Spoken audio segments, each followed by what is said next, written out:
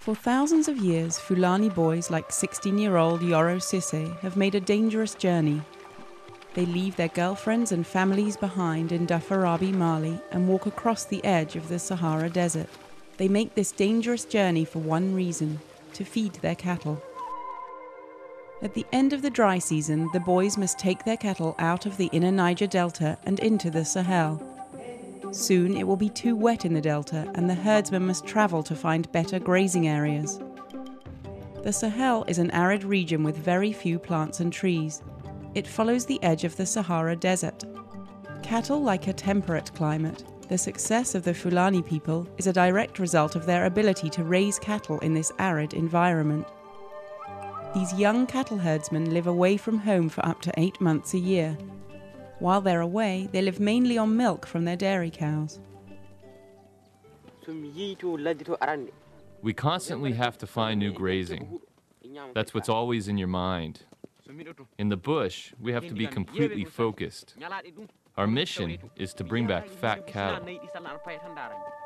Bringing home a healthy herd is a traditional rite of passage for Fulani boys. If a Fulani boy returns with healthy cattle, then he is considered to be a man.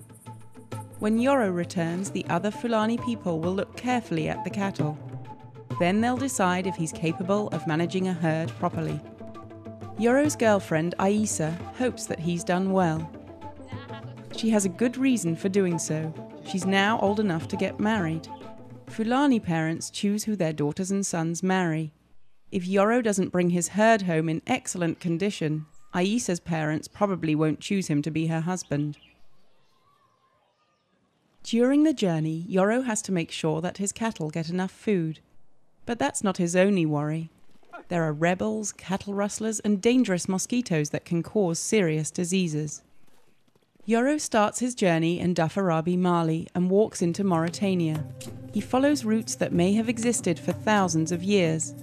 They've been here since a time when people and cattle were first forced into the Sahel. As the Sahara region dried out, the people that lived there had to leave and find a more temperate climate. After three months in the bush, it's finally time for Yoro to turn and go home. We walk from sunrise to sunset without stopping. Sometimes we get very thirsty and the cows get tired. Often we don't sleep at night. Nighttime is when the hyenas come out. They might try to kill the young cows or calves. Yoro and the other herdsmen often watch their cattle all night. They can't risk losing an animal now. The last part of Yoro's journey is very difficult, and it becomes almost like a forced march. Fortunately, Yoro's herd is doing well. There are many healthy calves and they need to be branded. Putting his brand on the calves is a proud moment for Yoro. The calves immediately make his family richer and show Yoro's courage and skill during the last eight months.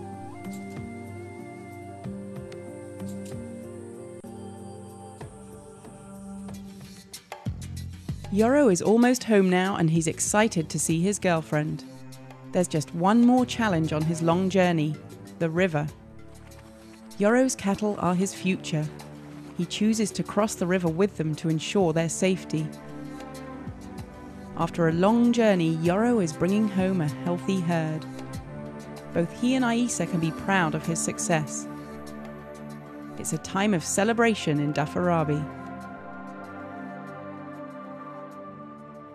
Later, Yoro spends some time with Aisa. He tells her of his intention to marry her. Aisa is pleased, but it's Aisa's parents, not Aisa and Yoro, who will decide if they can marry. Yoro has done everything he can. His future and Aisa's are linked to the river and the land of the Sahel. They're also linked to the dangerous journey that young Fulani boys have made for thousands of years.